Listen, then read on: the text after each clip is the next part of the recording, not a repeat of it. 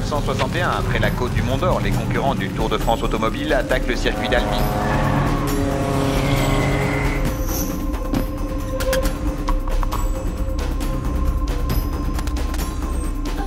More than 200 competitors will be on the starting line at the Grand Palais in Paris on April 7th to recreate the legend.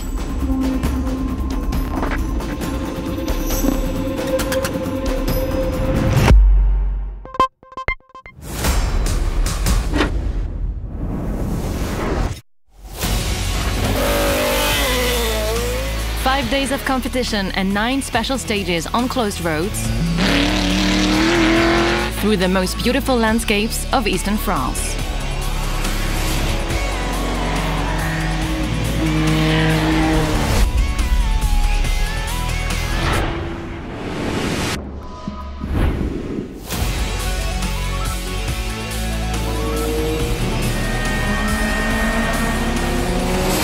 And also four circuit races on the legendary racetracks of Dijon-Prenois, l'Anneau du Rhin, le Circuit de la Bresse, and the Paul Ricard.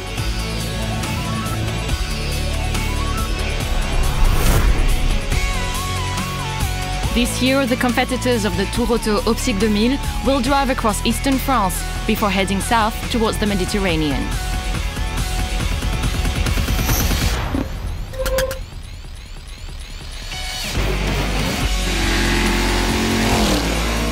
The tour will start in Paris and stop in Dijon, Mulhouse, Aix-les-Bains, and Valence before reaching Marseille to write a new chapter in the history of the Tour Auto Optic 2000.